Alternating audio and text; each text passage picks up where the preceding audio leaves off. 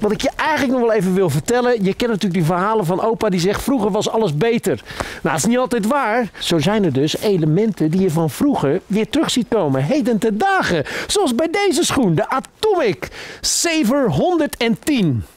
Nou ja, goed, misschien weet je nog wel die schoen van vroeger, de Salomon Equipe 91. Ook een achterinstapschoen. Kijk, je stapt hier heel makkelijk in. Je hebt één snal en verder kun je hem oppompen totdat hij lekker zit om je voet.